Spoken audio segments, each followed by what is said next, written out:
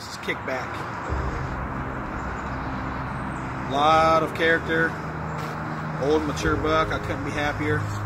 This is my biggest buck to date. So I'm pretty stoked.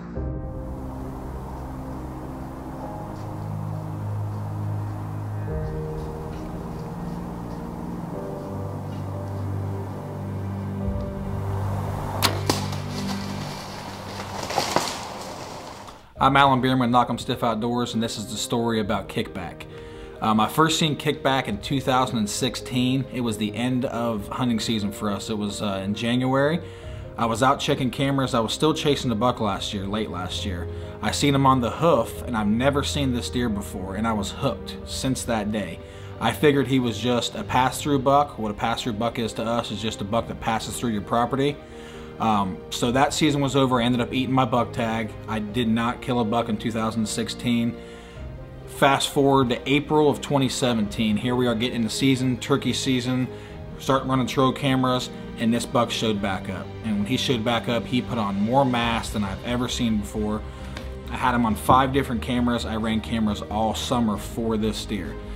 I kept getting pictures of him on a camera in the back of my property. So that's where I assumed he was at. I hung a set in the back of the property. I hung a set overlooking a food plot, and that was my dominant hunting spots. They have been for the last four years, are those two spots. I hunt this deer. I hunt this deer. I hunt this deer. Can't see this deer. Can't find him. Don't know where he's at. He goes nocturnal. He's not showing up in daylight anymore.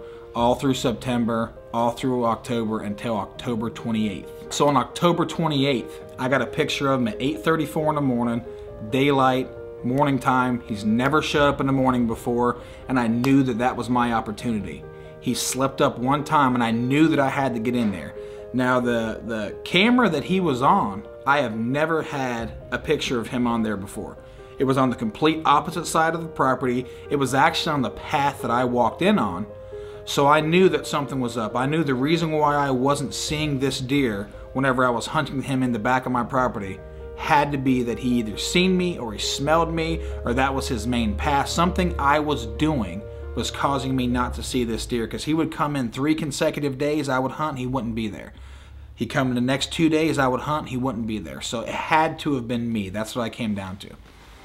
So what I did was is I, I got an aerial map of that property and I was looking and where he came out on, on that camera I seen that there was a big thicket of hardwoods with an acorn flat so I actually went and hung a stand in that acorn flat on the back side of where that camera would be. It was about 160 yards from that camera because I knew if he was coming from that direction he had to be in there somewhere.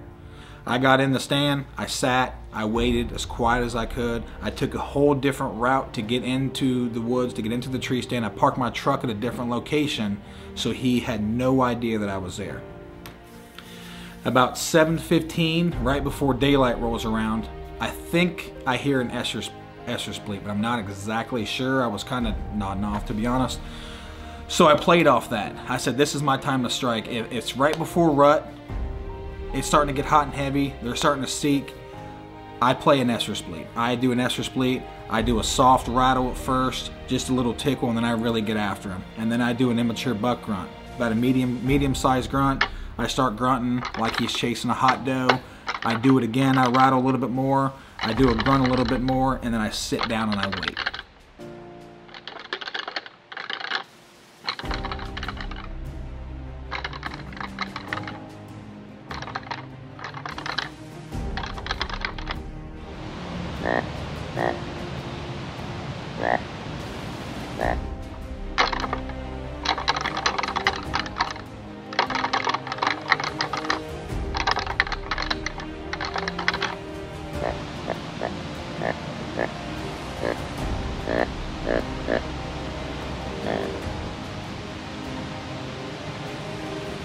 Maybe 10 minutes later, I see a body of a deer. I can't see his rack yet, but I see a body of a deer. I knew he was big coming off this ridge top, headed right down to the acorn flat where I was at, and it happened to be the direction where he was at on that camera on October 28th, and it was him.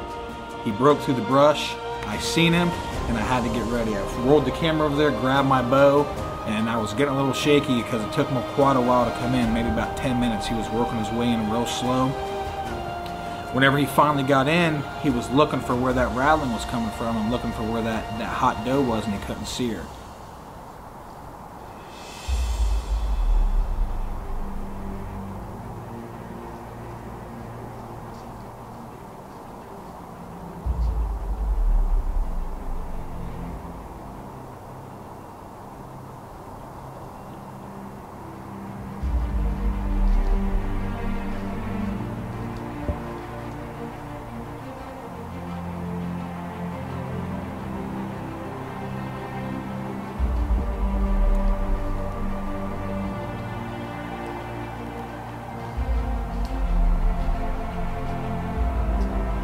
So he circled my tree, stopped.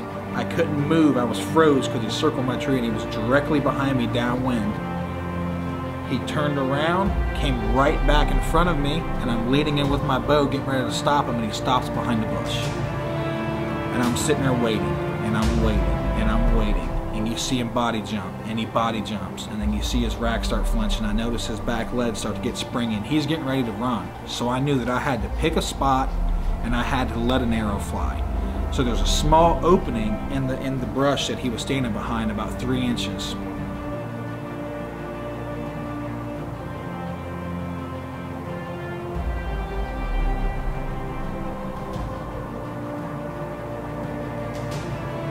I picked my mark, I shot,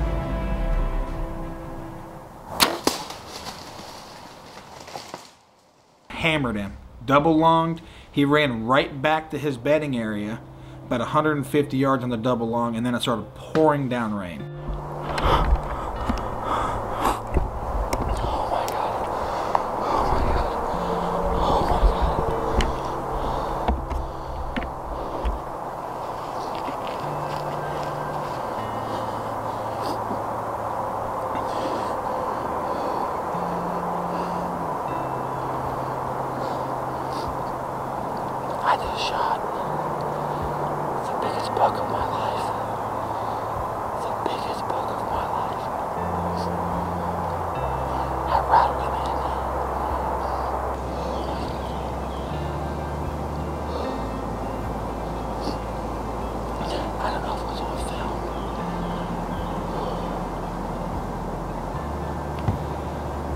I'll tell you this this hunt had to be my favorite hunt I've ever been on. Not because it was not on my biggest buck, but it was what I did. I had to outsmart a mature six-year-old 190 inch deer.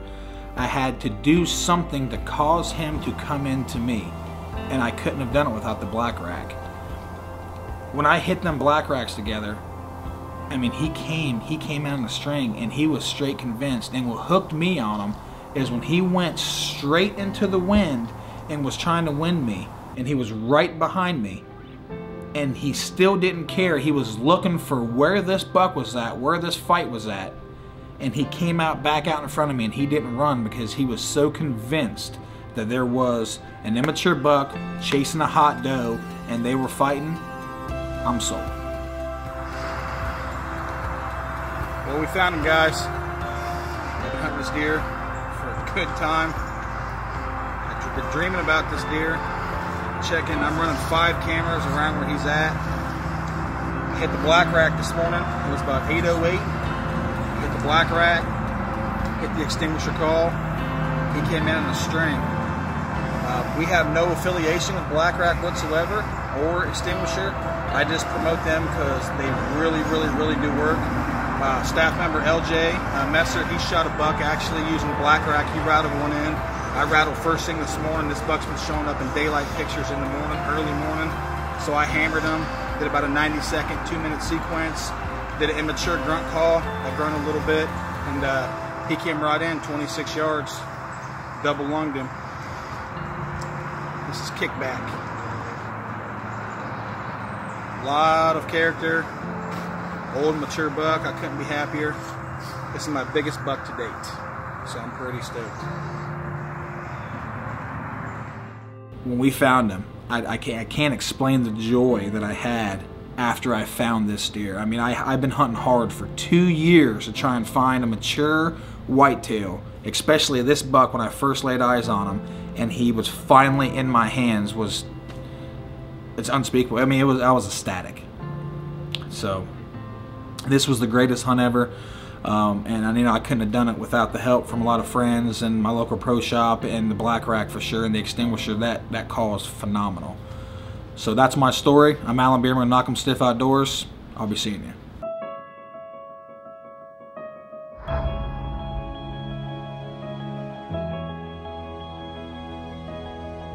Welcome to the Deer Society.